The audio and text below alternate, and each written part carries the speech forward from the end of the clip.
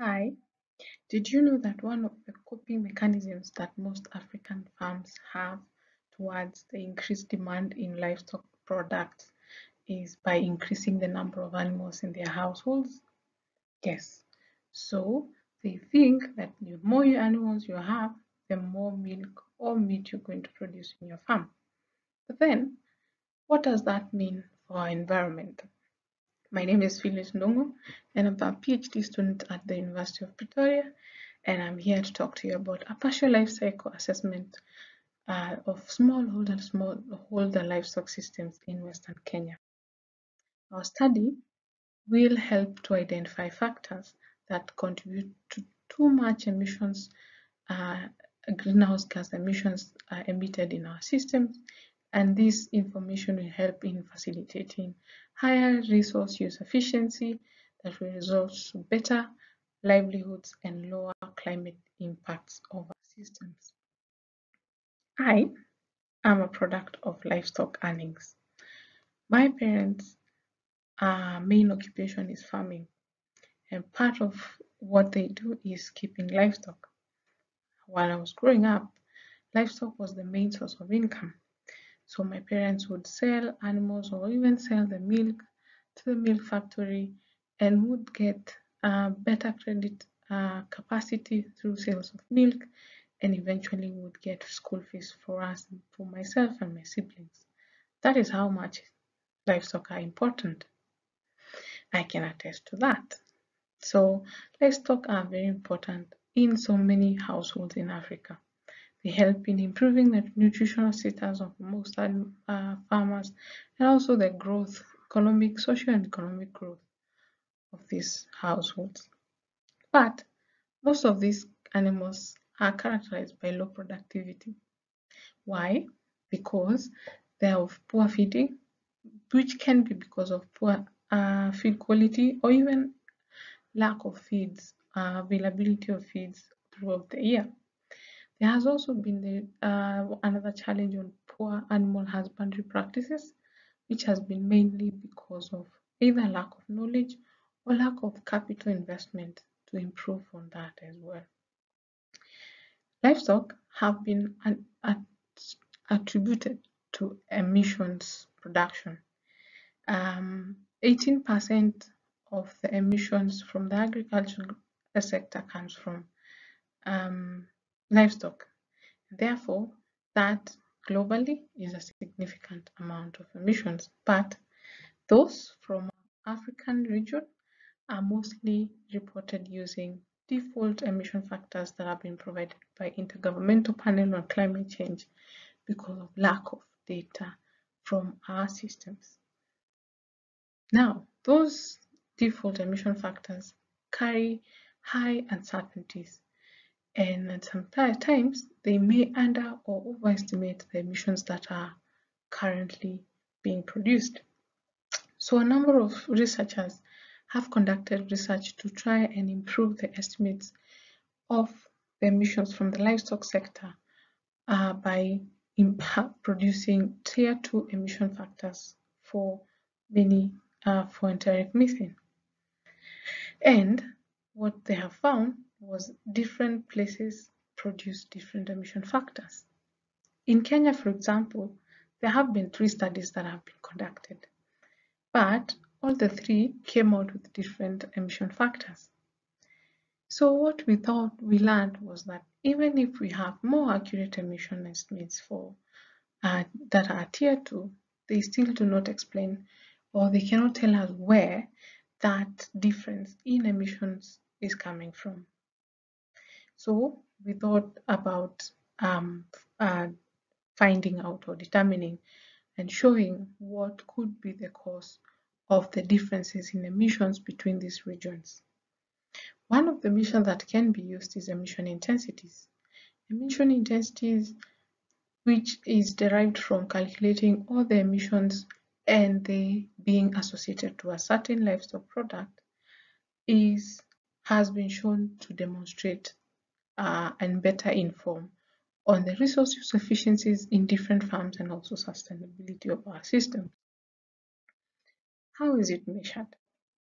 So emissions intensities are measured by using a life cycle assessment method, which has the unique way to quantify all the greenhouse gas emissions uh, throughout the life cycle of that product.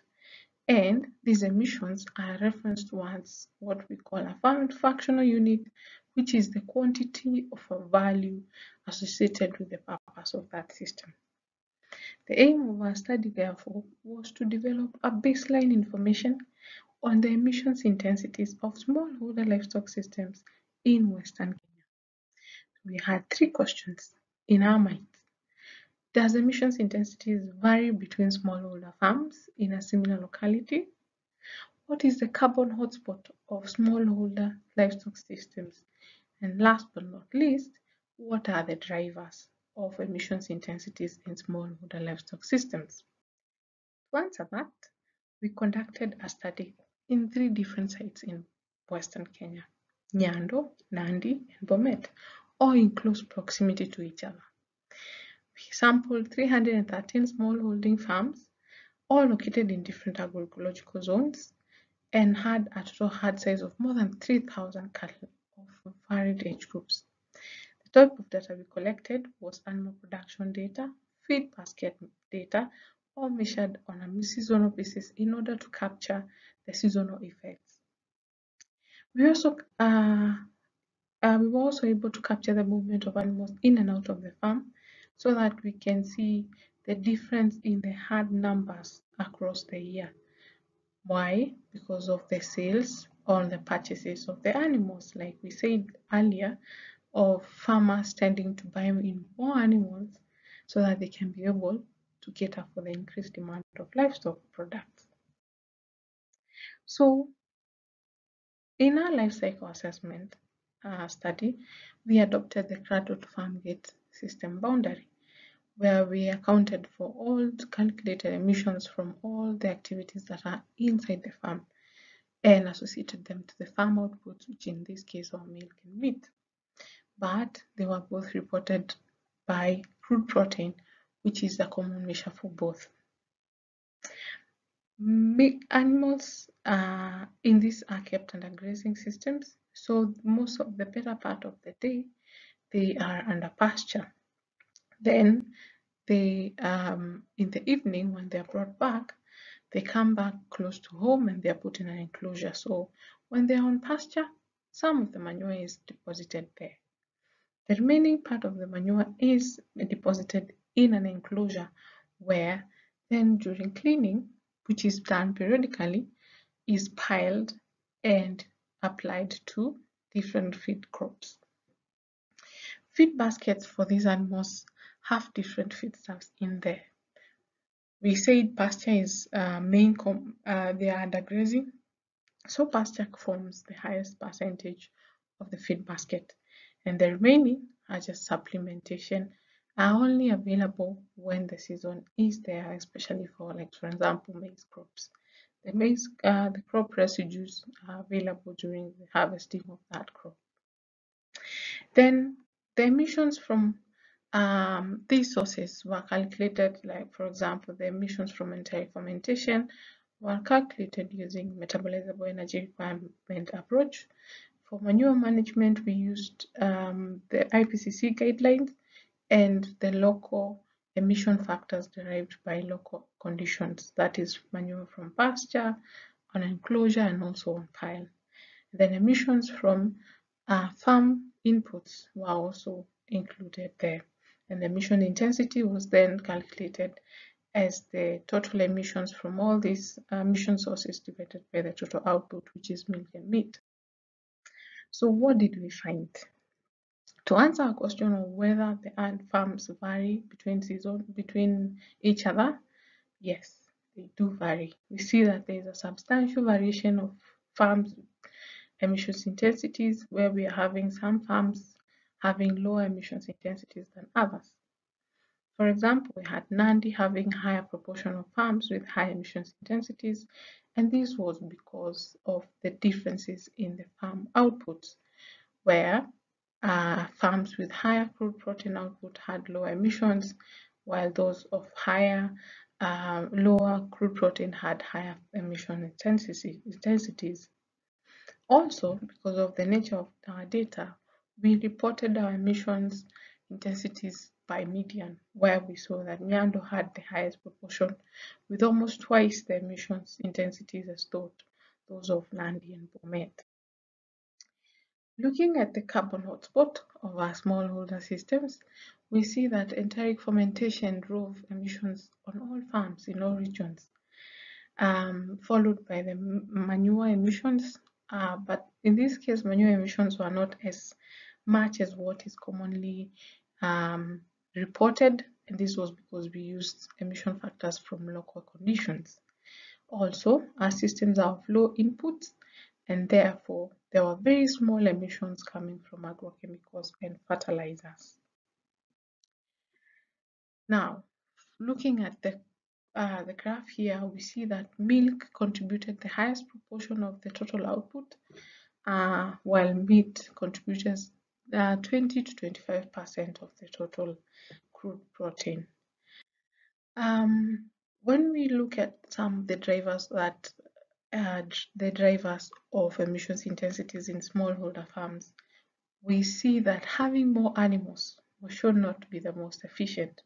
So for those farmers that are uh, coping by increasing the number of animals to increase productivity, um, that will, is not really the most efficient uh, way. What we learned was the most efficient uh, way and drives the emissions efficiency was having high per cow milk yield, high sales of animals for meat, and also having a high proportion of productive animals, especially females in the herd.